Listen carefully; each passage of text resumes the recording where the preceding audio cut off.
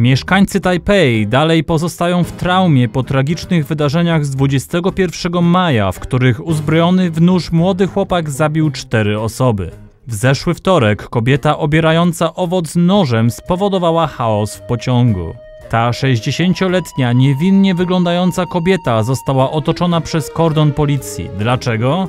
We wtorek rano czekała na pociąg. Gdy była na platformie, postanowiła zjeść mango i zaczęła obierać je nożem do owoców. Po wejściu do pociągu zaczęła jeść jej mango, używając przy tym noża. Po chwili poszła do toalety, by umyć narzędzie. Pasażerowie przerażeni tym widokiem zadzwonili po policję. Policja zatrzymała kobietę, która była totalnie zdezorientowana i nie wiedziała, co złego zrobiła. Została zabrana na posterunek.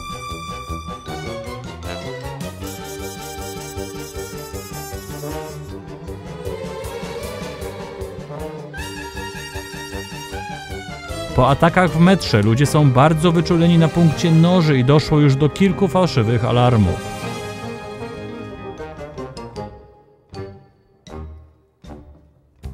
Kobieta, która zmasakrowała nożem mango, została zwolniona do domu, nikomu nic się nie stało.